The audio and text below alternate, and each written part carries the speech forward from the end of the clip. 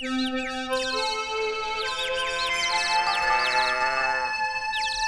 village où vit Annette dans sa petite maisonnette, accrochée sur la montagne qui domine doucement la campagne.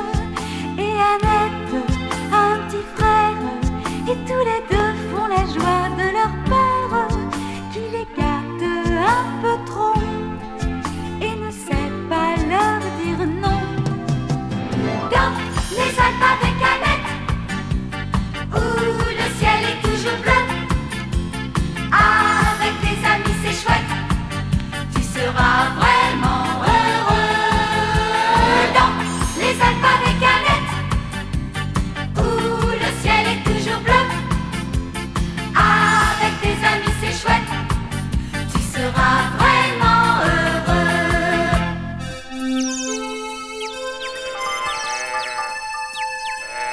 notre Annette, un camarade.